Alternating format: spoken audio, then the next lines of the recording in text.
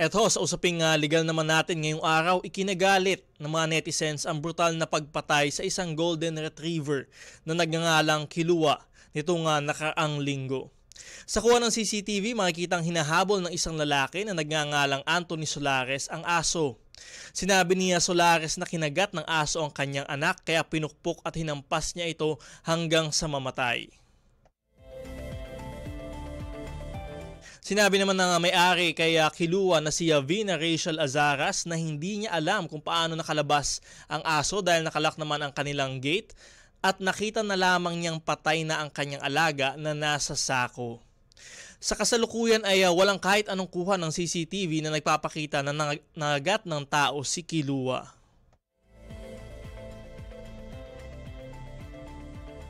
Sinabi naman ng Philippine Animal Welfare Society o POS na magsasampa sila ng kasong kriminal laban kay Solares para sa paglabag sa Animal Welfare Act dahil sa wala di umanong ebidensya ng papakita na nanggat ng tao si Kilua at self-defense lamang ang nangyari. Iba't ibang personalidad at mga mambabatas ang kumunde na sa nangyaring insidente.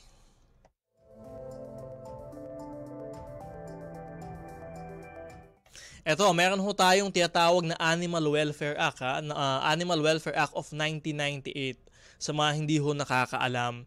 Sa ilalim ho ng uh, Section 6 ng Republic Act 8485 o Animal Welfare Act, parurusahan ng sino mga papatay o magtutorture sa mga hayop kabilang na ang mga aso. Kasama din sa ipinagbabawal ng batas ang hindi pag-aalaga ng wasto sa mga hayop at ang hindi pagbibigay sa kanila ng maayos na tirahan at maging ang paggamit sa mga hayop sa pananaliksik at eksperimento ng walang pahintulot ng pamahalaan.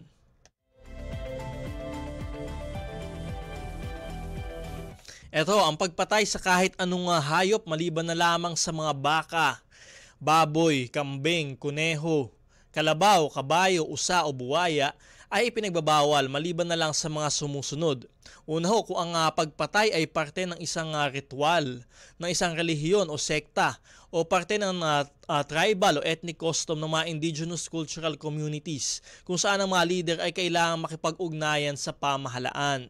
Ikalawa ho, kung ang alagang hayop ay uh, may incurable communicable disease, ayan ho, na dapat ay certified ng isang licensed veterinarian.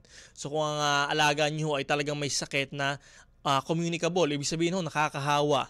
At talagang hindi na ho talaga ito uh, uh, mapapagaling pa no, ng kahit anong uh, gamot. At dapat ho ito ay certified uh, ng isang licensed veterinarian. Ay uh, maaari nyo hong uh, kitli ng kanyang uh, buhay. At uh, connected nga ho dito yung pangatlo, kung yung uh, pagpatay ay uh, kailangan para tapusin na ho yung paghihirap ng hayop. Ayan ho, yung parang euthanasia o mercy killing. Na dapat ho ay uh, certified pa din ng isang uh, licensed veterinarian. Pang-apat ho, kung ang uh, pagpatay ay ginawa upang maiwasan ang banta sa buhay ng isang tao. Ito ho yung uh, binabanggit nga ho nung uh, tinuturo nga ho nga pumatay kay Kilua. Self-defense nga daw ho yung nangyari. Pero yun nga, sinasabi ng, uh, ng mga tao, ng mga uh, witnesses nga ho, na wala naman ding uh, ebidensya na magpapatunay na talagang uh, nangagat ng tao itong si Kilua, yung itong uh, asong golden retriever.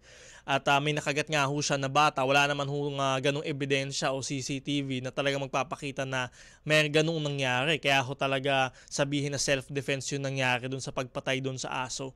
At uh, nga, kasi sabi natin kahit ho self-defense pa, no, kahit nga ho sa ating criminal uh, law, no, sa ating revised penal code, yung uh, self-defense ho na gagawin ninyo ay kung may banta ho sa inyong buhay, ay dapat yung sapat lamang ho para matigil yung aggression nung uh, taong nagbabanta ho sa inyo dito sa kasong ito nung aso. At eh, dito ho parang hindi naman ho talaga sapat, uh, hindi ho makatarungan no? Na talagang uh, hinampas na hanggang sa mamatay yung aso. So halata ho yun, hindi na ho yun self-defense no? Talagang uh, pagpatay na ho talaga iyon.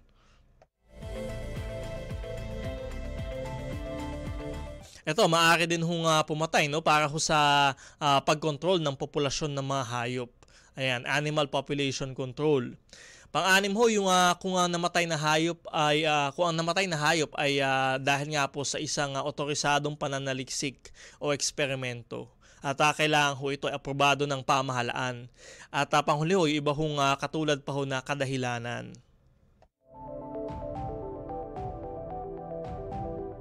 Ito, sa lahat ho ng mga pagpatay ho na ito, ito ho yung mga otorisado sa ilalim ng batas, dapat ho ay gawin ito sa pinakamataong, uh, pinakamakataong paraan o uh, most humane procedure. At uh, yun nga ang sinasabi nila, ano yung most scientific na procedure na pwedeng gawin na syempre hindi naman masyadong mahihirapan yung mga hayop. At uh, yun nga ho, kailangan pa din ng most humane procedure kahit ho dito sa mga otorisadong uh, pagpatay ho na ito. Ito, ang sino mga lalabag sa Animal Welfare Act ay maaaring makulong mula 6 na buwan hanggang 2 taon. And mahaba-haba din ho yan, 6 months to 2 years. O magbayad ng multa na hindi bababa sa 1,000 piso at hindi higit sa 5,000 piso o parehong pagkakakulong o multa.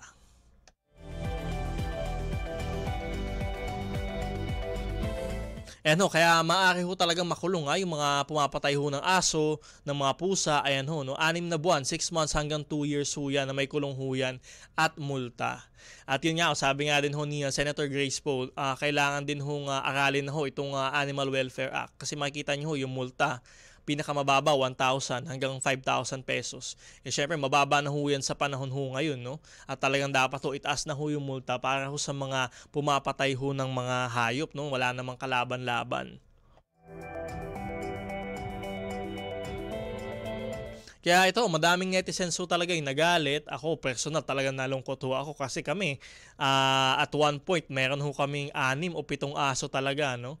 So talagang uh, nakakalungkot ho yan dahil yung mga nag-aalaga ho ng aso, ay uh, tinuturing ho nilang pamilya yan, yung kanilang mga alagang hayop. At ito nga ho, yung Golden Retriever, ito ay isa sa mga pinaka, uh, pinaka maamo at pinakamapagmahal na breed ho ng aso. Kaya hindi rin ho natin maiisip na sasabihin na talagang uh, bigla na lang nangagat yung golden retriever o nangagat talaga siya kaya siya pinatay. At ayun nga ho, talagang uh, nakakagalit kasi walang kalaban-laban ho yung aso eh. Kung mapapansin nyo, kung mga litrato ho talaga, ay yung aso ho talaga ay uh, walang kalaban-laban doon sa ginawa ng uh, tao ho sa kanya. At yun nga, kung sinasabi natin self-defense yung nangyari, at uh, meron ho tayong wasto, no? wastong pamamaraan. Kung talagang nakakagat yung aso, ay kailangan i-report ho ito doon sa barangay. At hindi ho dapat uh, agad-agad din yung patayin. Kasi kailangan ho obserbahan ho yung aso, di ba? Para ho uh, sa mga uh, kung may rabies ho, etc. So hindi ho pwedeng basta-basta patayin ho ninyo yung aso. Lalo na ho itong mga ganito na wala hong kalaban-laban. At yun nga, sinasabi natin kanina, kung self-defense yung nangyari, dapat uh, reasonable force lamang ho yung gagamitin to uh, repel the aggression, no? So ayun ho, hindi ho pwedeng uh, hindi na ho masasabing uh, self-defense 'yan kasi pinatay niyo na ho eh, no? Kumbaga kung sa tao sabihin niyo na self-defense lang 'yung nangyari, talagang tinadtad niyo naman, talagang pinatay ninyo ay hindi na ho 'yan self-defense. Ayan ho, 'di ba? So ayan ho, uh, ipinagbabawal ho ng ating Animal Welfare Act yung uh, pagpatay ho sa mga hayop, sa mga aso at pusa. At uh, sana ho tayo ho ay uh, magkaroon naman ng konsensya, no? At uh, kung tayo ay hindi na ho natin inaalagaan yung mga hayop, di natin pinapakain, ay wag naman ho natin patayin yung uh, alagang hayop ng ating mga kapitbahay, di ba? At uh, ayan ho, at uh, maaari din ho kayong maging uh, liable for damages, no? Maaari din ho yan na uh, civil suit, no? Damages. At uh, magbabayad ho kayo ng mga actual moral damages, etc. para ho dun sa pagkamatay ng hayop. At ayan ho, ano ho ang uh, reaksyon ninyo sa usaping ho ito? Talagang uh, nakakalungkot ho itong pangyayaring ito. At uh, sana ho, wag na ho uh, maulit ito. At alam ho natin talagang uh, araw-araw ho talaga may namamatay na hayop sa kalsada. Pero ito, iba ho talaga ito. Eh, talagang ito ho ay uh, pinatay ho talaga. No? Kung makikita natin doon sa uh, video at affidavit ho ng mga witnesses. Ay ayun ho, sana ho ay uh, hindi na ho ito maulit at sana ho ay mapanagot sa batas kung uh, meron mang hong uh, pagkakasala dito sa insidenteng ito.